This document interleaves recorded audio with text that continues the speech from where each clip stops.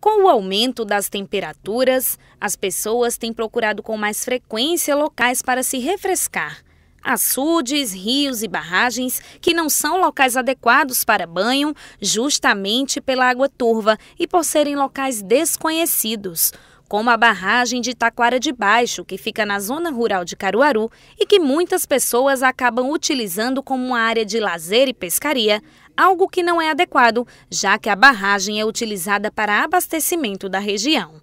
Por conta disso, muitos incidentes de afogamento têm sido registrados na localidade. Seu Armando mora em frente a esta barragem há 20 anos e disse já ter visto muita ocorrência de afogamento por aqui bebo, mulher beba, menino que não sabia nadar. Esse domingo mesmo, não sabia nadar, causa do buraco com 10 metros. De acordo com informações do segundo grupamento de bombeiros de Caruaru, que atende a mais 28 municípios, só no ano passado foram registradas 48 ocorrências de afogamento, sendo 18 delas aqui em Caruaru. Já este ano, até agora, já foram registradas 47 ocorrências, sendo 10 delas aqui em Caruaru.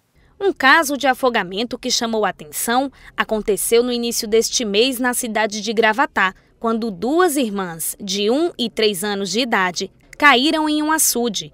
O pai tirou as crianças da água, mas só conseguiu salvar uma delas. O afogamento foi em uma fazenda na área rural do município. A menina, de um ano, caiu no açude enquanto brincava com a mais velha. Já aqui em Caruaru, um outro caso de afogamento aconteceu no último domingo, quando um homem de 25 anos estava tomando banho no açude de Taquara de Baixo e acabou se afogando. O corpo só foi encontrado no final da manhã da segunda-feira. De acordo com o capitão do Corpo de Bombeiros, a maioria dos incidentes acontecem justamente pela falta de atenção e insistência das pessoas de mergulharem em águas que não conhecem. 75% dos afogamentos né, que ocorrem, eles ocorrem em água doce.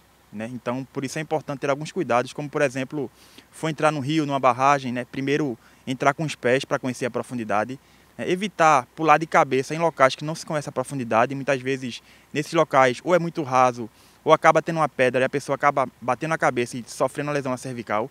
Né? Evitar bebida alcoólica antes de nadar, que esse aí é um dado muito alarmante. 90% das ocorrências de afogamento em, em esses locais acontece por conta da ingestão de bebida alcoólica.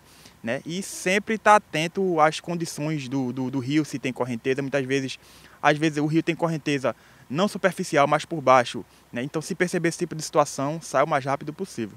E ainda deu algumas orientações para quem presenciar afogamentos. É importante a pessoa não tentar entrar para tirar a vítima.